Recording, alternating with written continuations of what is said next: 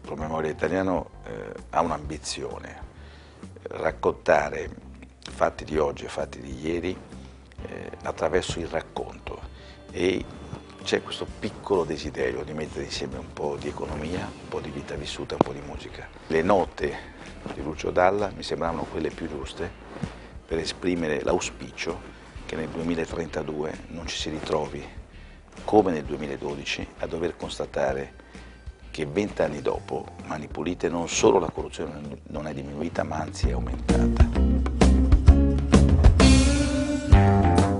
L'ambizione di Promemoria Italiano è quello di far rivivere l'emozione eh, di quello che diciamo nelle famiglie meridionali è il pranzo della domenica. Mio padre era uno un uomo classe 26 eh, e la domenica ci raccontava gli anni del liceo e gli anni dell'università che erano a cavallo della guerra. In quel racconto veniva trasferito a noi figli il, non solo la speranza di quegli anni, ma la determinazione, il gusto della fatica, la voglia di riscatto. E sono quei sentimenti eh, che oggi dobbiamo recuperare in fretta eh, e dobbiamo farlo eh, perché il momento che viviamo è diverso, ma con una difficoltà eh, di livello analogo.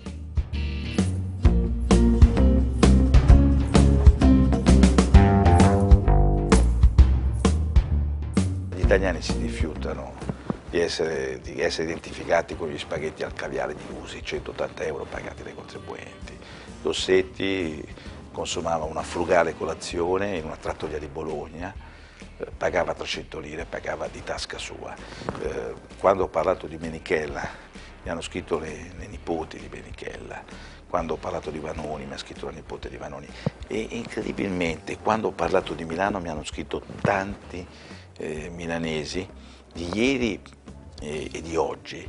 E dal, dalle loro lettere c'è un racconto vero di questo paese, c'è proprio un, dire, eh, continuo dialogo per la gioia di ritrovarsi in questi momenti, in queste persone.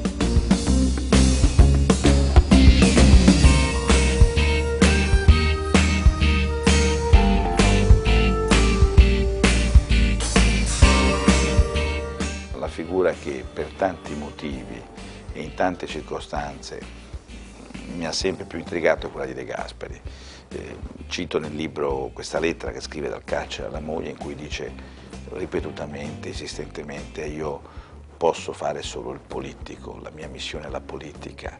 Vedendo come è ridotta la politica oggi, eh, come dire, ricordare a se stessi, ricordare agli altri che è esistito anche un politico come De Gasperi, che questa era la politica, eh, insomma oggi in un momento come questo è veramente importante.